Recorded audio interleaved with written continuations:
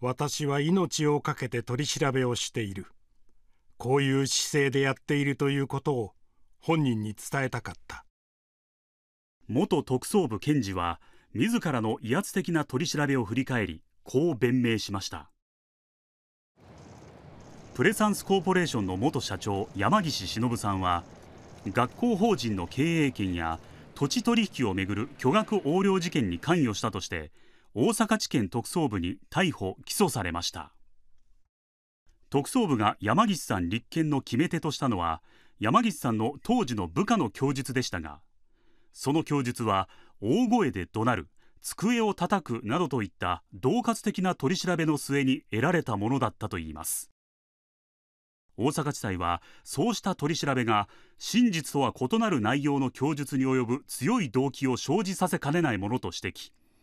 山岸さんに無罪を言い渡し判決は確定しました。私はあの仕事が大好きでした。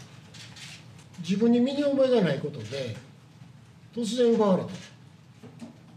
これは本当に心の底から悔しかったです。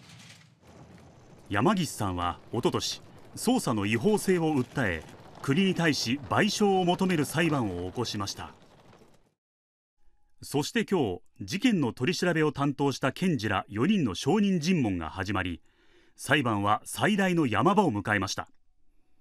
尋問の前には取り調べの録音録画の一部が法廷で公開されました。あなたはプレサンスの評判を貶めた大罪人ですよ。損害を賠償できます。10億20億じゃ済まないですよね。それを背負う覚悟で今話をしていますか？だからあなたの顔が穏やかになりきっていないと見えるんですよ。まただんだん悪い顔になってきているよ。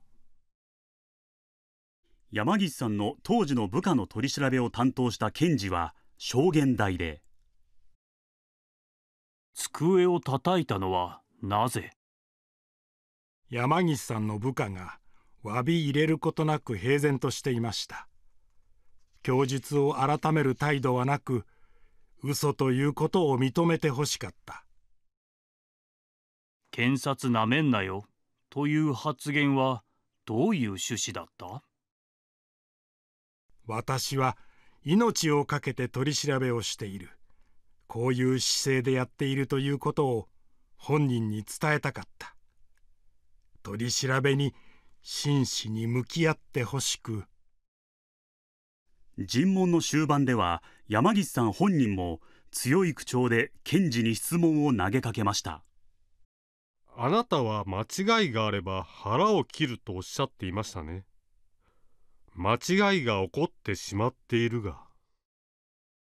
それぐらいの覚悟で全身全霊で取り調べに取り組んでいるということを今週金曜日には山岸さんの逮捕を最終的に決断した当時の主任検事らが証人として出廷します。